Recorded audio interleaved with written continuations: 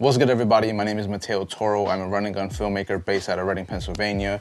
And if you were like me, you were on the market for a matte box, and you happen to come across the lightweight matte box by SmallRig 2660.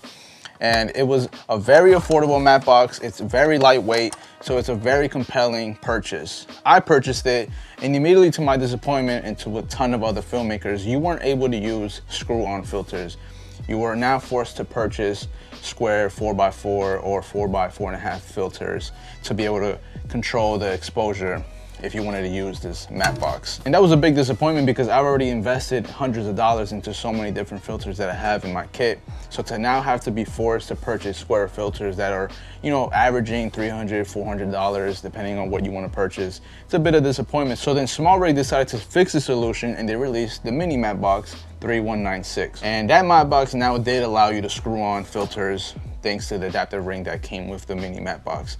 I purchased it because now I'm able to use my screw-on filters. And then my bigger disappointment with the mini matte box is the fact that it was about half the size.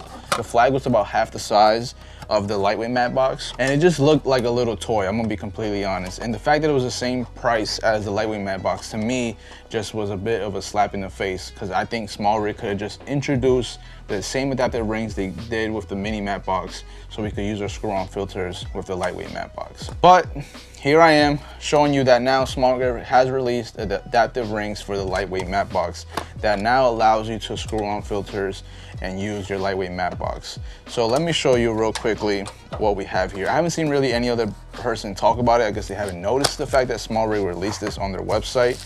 Um, I put a pre-order on B&H and I finally have it here. So this is the adaptive ring and you're gonna be very familiar with it if you purchase the mini matte box because it's the same adaptive ring. However, it's just a bigger thread size since the lightweight matte box is 114 millimeters. So here I have the 82 to 114 as I have a 82 millimeter lens right here, my 24 to 70 G Master by Sony. So if you haven't installed the lightweight matte box before and you want to see quickly how it is, all you do is you grab the adaptive ring and you just screw it on. So real simple nice and tight. The final step is you literally just place the matte box onto that ring and then all you do is just screw on this little knob right here on the side.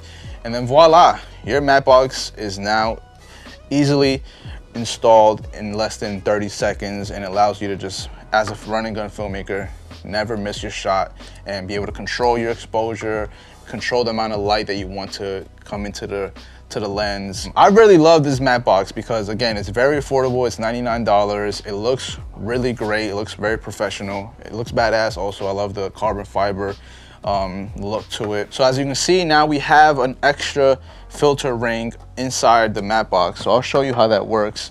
All you wanna do is grab yourself one of your um, screw-on filters. Here I have an 82 millimeter ND filter and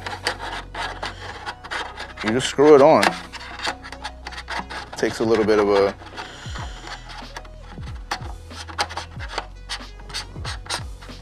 all you do is screw it on just like that and boom now you're able to use your lightweight matte box with your screw-on filters. To me, being able to use my screw-on filters is a very big benefit, and I was very disappointed when I first purchased it and I couldn't use my screw-on filters because I have hundreds of dollars invested into different various screw-on filters, and I just didn't like how small the mini matte box was. So I have filters from Prism Lens Effects, I have Kaleidoscope filters, I have bunch of ND filters, polarizer filters, dream filters. So to go from using them all the time and then wanting to have a matte box and not being able to use them was just a big letdown. So as you can see, now you can just screw them on very simply and now you have yourself a nice kit with a matte box and your screw-on filters. So what are the big differences between the mini matte box and the lightweight matte box? At this point, it's just the fact that the mini matte box already comes with the screw-on adaptive rings where you can screw on your filters.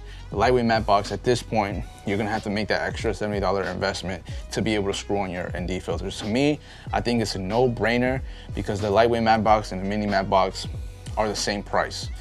And for you to have just a bigger flag, it's gonna allow you to control much more the light of how much is gonna come into your lens. You're gonna be able to control your exposure a lot better now because you're not forced to use those square filters. So now, the fact that I have my variable ND, I'm able to control the exposure just to my liking, depending if the weather's changing, depending if I'm using a lot of lights and it's very intense.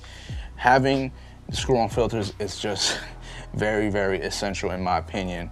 And the lightweight matte box, again, it's a lot bigger. It just looks more professional. So when you're on a set, no one's gonna be questioning your capabilities because as we know, sometimes perception is a major factor in what we do. So here you see I have my lightweight matte box, my ND filter, I have my Tilta Pro Kit cage on my A7S III, and I just have a great handheld rig where I can just easily get some really cinematic shots with less jitter and also be able to control the amount of light coming into my lens. So at this point, if you're in the market looking to buy a matte box, I would definitely recommend the SmallRig Lightweight Matte Box 2660. It's very affordable, it's carbon fiber, so it's very lightweight. It won't add a lot of weight to your handheld rig, so you're not gonna be exhausted after a full day of filming if you don't have yourself an Easyrig. Um, and it's just a bigger flag compared to the mini matte box. I would not go with the mini matte box if I were a filmmaker in the market. I've had both.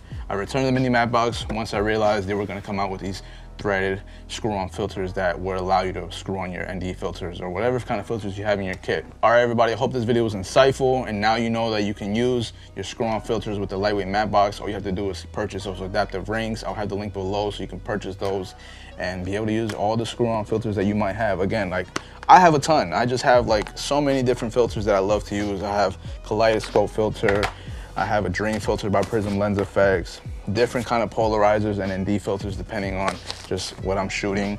Um, so not having access to them, when I had the lightweight matte box at first was just like, damn, like what am I gonna be doing with all these filters? I can't just like resell them. People don't really buy used filters like that. And I didn't want to invest hundreds of dollars again onto those square tray filters because they start at like 300 for like quality glass, especially the ND ones, and they're not variable. So then you're not really able to really control the look or the exposure on your image since they're not variable. You'd have to just waste so much time taking out those trays, putting trays depending on if it's a cloudy day and light is changing um, ever so often based on the weather. So there you go, lightweight matte box screw-on filters. It's now possible. Thank you all for watching. I hope this video was insightful. Leave any comments below in the comment section. And if you're new to the channel, please consider subscribing. Hit the subscribe button, hit the thumbs up if you got some insight on this video. And I appreciate everyone watching. I'll see everyone in the next one. Peace.